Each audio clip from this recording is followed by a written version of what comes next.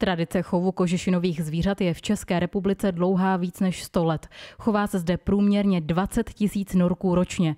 V současné době funguje devět rodinných kožešinových farem, které nyní pod tlakem veganských aktivistů mají ukončit svou činnost. Majitelé podle rozhodnutí poslanců nedostanou za nařízenou likvidaci svých farem od státu žádné očkodnění. Dobrý den, vítejte na farmě norků ve Velkém Natmírově. Pojďte se podívat dál.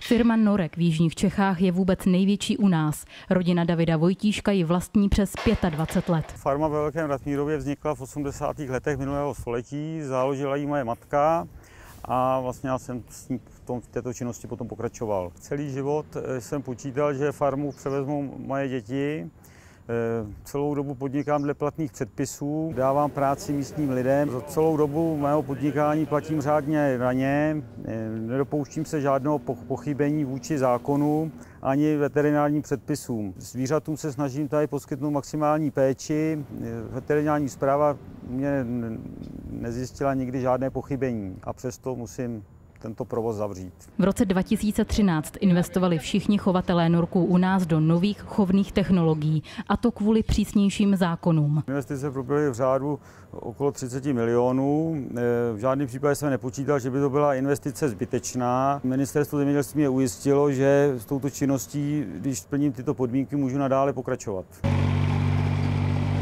Jenže pár měsíců na to spouštějí vegančtí aktivisté masivní kampaň, v níž požadují uzavření všech kožešinových farem v České republice v co nejkratší době. Nechci hodnotit eh, ekonomický přínos pro Českou republiku těchto lidí. Tyto lidé v životě nepracovali fyzicky, tak vůbec nemají ponětí o tom, co to obnáší zemědělská prvovýroba. Tady člověk eh, musí se v první řadě postarat o zvířata a to se odvíjí od kvality krmeva, které ji musí připravit. E, pro mě to znamená, že stávám třikrát týdně ve tři hodiny ráno, dovážím čerstvou surovinu, která se musí okamžitě vyložit a zachladit.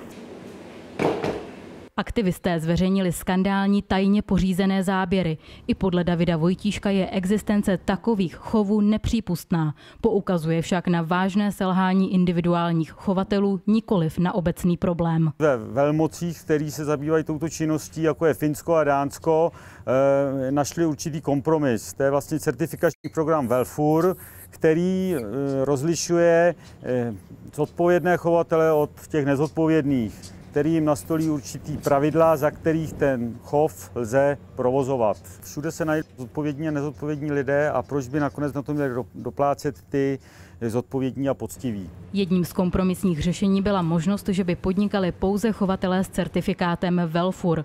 O progresivním návrhu se však nakonec na půdě sněmovny žádná debata nevedla.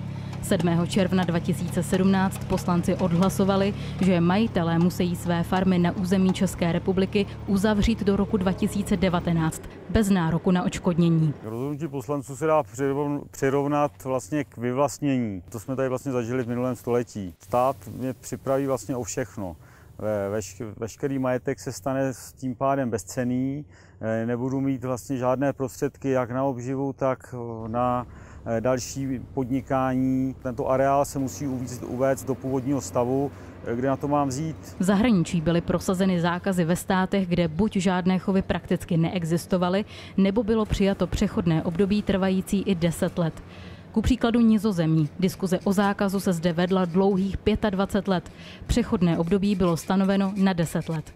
Nebo Velká Británie. Chovatelé tu vyhráli soudní spor a stát jim musel vyplatit vysoké finanční náhrady. Z mého pohledu a pohledu právníků, který jsem oslovil, je tento návrh tohoto zákona protiústavní. Člověk, který poctivě podniká, nedělá nic v rozporu se zákonem, eh, se vlastně stane ze dne na den žebrákem.